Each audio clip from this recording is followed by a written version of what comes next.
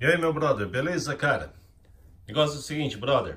Eu vou fazer um vídeo aqui rapidinho para esclarecer a dúvida de alguma de umas pessoas aí que andam me escrevendo perguntando, porra, para fazer um aero desse você tá gastando muita grana. Brother, é o seguinte, esse aero que eu estou fazendo aqui é praticamente tudo material reciclado. O motor que eu tenho nesse aero é motor de aero lenhado. O ESC que está nele também é um ESC que eu já tinha aí de alguns aeros do passado que foi, foi lenhado também. É, o único material que eu tô comprando até agora, cara, são essas folhas de balsa, tá? Isso aqui é uma folha de balsa, deixa eu ver quanto que é isso aqui, de um milímetro. um milímetro por 80. um milímetro de espessura, 80 de largura por 600 de comprimento. A única coisa que eu estou comprando até agora, praticamente, são essas folhas de balsa. Eu acho que eu comprei umas 10 folhas dessa balsa. Essa folha aqui custa o que? Um dólar. Aqui, né? Aqui custa um dólar. Então é o seguinte. É, outra coisa que eu comprei foi o essa madeira aqui que é a é as madeira prensada, tá? Madeira aí também deve ter o que? Uns 2 milímetros de espessura. Eu comprei naquelas casas que é tudo por um real aqui. Seria no caso aí no Brasil, que essas casas acho que é 3 reais, alguma coisa assim. A parte do motor aqui, essa decoração do motor, brother. Eu fui nessa mesma casa aí tudo por um dólar. Eu achei esse potinho aqui, ó. Eu não sei para que serve esse potinho aqui. Você abrindo a tampa dele, ele tem a, tem a rosca, tem essa parte da rosca aqui que eu falei, pô, isso aqui vai ficar parecendo um cabeçote. Né? Então eu comprei três pacotinhos desse aqui, que vem dois, dois potinhos desse dentro de um pacote. Tá, recortei e coloquei ali em cima. Esse arame que tem aqui, isso aqui é um arame de alumínio, eu trouxe lá da, do Porto. Eu não sei para que serve isso daí. O pessoal deve fazer para amarração de mercadoria, alguma coisa assim dentro dos containers. Eu achei um pedaço desse arame lá. Eu trouxe. Esse aqui é esse ferrinho aqui é um ferrinho daqueles que aqui a gente chama de piano 100, é, arame de piano, que eu já tinha aí também, que antigamente usava para fazer a linkagem dos aeros. Então, esse cabo de aço, esse cabo de aço eu já tinha também, estava guardado há muito tempo. Esse, esse negócio aqui é para prender realmente cabo de aço. Eu tive que comprar isso aqui, mas isso aqui é um pacotinho, acho que vem em 50, 50 ferrinhos desse de alumínio. Isso também é uma micharia. Então é isso aí, meu brother.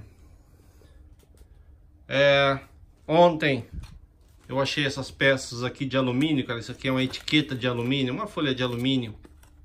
Lá no Porto, a gente mexe com engotes. Então isso aqui vem escrito a, a descrição do, do paleto do, do engote. Então acaba soltando lá, estava voando no vento lá, eu olhei esse negócio aqui, pô, isso é alumínio, cara. Catei esse alumínio, agora eu trouxe para cá eu fiz essa pecinha aqui que é a proteção da, dessa travinha aqui para segurar essa tampa onde eu encaixei o ESC. Então não tem mistério, brother. Para mim construir um avião desse aqui não está saindo caro porque realmente eu estou utilizando todo o material reciclado, material bem barato. Porque para mim não compensa construir um avião gastar dinheiro, brother. Porque eu já falei em outros vídeos no passado que eu gosto de construir. Eu gosto de passar meu tempo assim. Construir o, o aero e ver ele voar. Por isso mesmo eu não uso plantas, cara. Eu gosto de tirar da, da cabeça uma ideia. Se vocês verem que no começo tem no álbum de foto alguns vídeos, no começo eu desenhei num papel projeto do Aero, cortei algumas chapas de Deprom para não ter erro no corte dessa madeira. Eu comecei a construir. Já tá aí o que? Já tem mais ou menos um ano. Eu comecei a construir. Acho que no verão do ano passado, quando eu comecei a ter a ideia de construir o Albatroz. O Albatroz eu tive a ideia de construir ele porque eu acabei vendo, tava vendo umas fotos de um aero, uns aviões lá no, na internet, é incrível que pareça, eu achei a foto do, do Albatroz D2, que era do Barão, foi o primeiro avião do Barão Vermelho, tá? Para quem não sabe, o, o triplano já foi o segundo aero do Barão Vermelho, então eu resolvi fazer esse aqui. Os servos que eu tenho aqui é os servos da Hobby King, servos barato também, um servo baratinho pra caramba. É, as engrenagens são de metais, é digital, não é servo caro. Então eu utilizo esse tipo de material, porque realmente para mim fazer um aero. Meus aéreos são temporários, brother. Eu construo, passo meu tempo, chego do serviço aqui, não tem nada para fazer, tô dando umas bicadinhas na minha cachaça. Ultimamente eu não tô bicando porque o médico me proibiu. Mas eu passo meu tempo construindo, fazendo esse tipo de trabalho. É tipo uma terapia. Aí você coloca para voar, se voar, voou, se não voar, a gente vai dar muita risada. Aí depois que de repente me der na louca de construir um outro aero, porra, quero voar um tal aero. O que eu vou fazer, brother? De repente eu acabo destruindo esse aero aqui para tirar toda a eletrônica dele e construir outro. E eu tenho que me desfazer desses aeros porque realmente aqui no Japão a falta de espaço é muito grande, tá? Eu não tenho espaço suficiente para ficar guardando todos esses meus aeros. Muitos aeros aí eu já que eu construí, eu já desfiz. Alguns eu dei pro pessoal lá da, da pista, pessoal iniciante, ó. Voa aí, pode lenhar, quebrar, faz o que você quiser. Outra coisa, brother.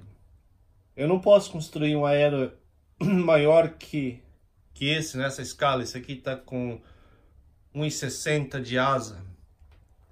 Se eu construir um aero maior que esse, meu brother, eu vou ter problema para guardá-lo.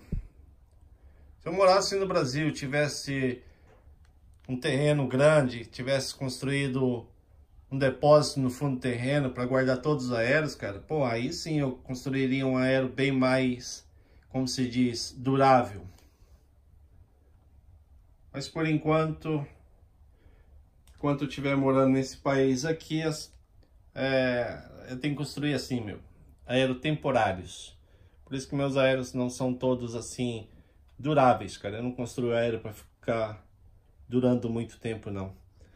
Eu sou um aeromodelista que eu gosto de construir para ver voar, cara. Tirar uma ideia da cabeça colocar no papel, desenhar, começar a construir e ver voar. Depois que a gente voa duas, três vezes, aí você acaba acostumando, né, cara? Aí já acaba perdendo a graça.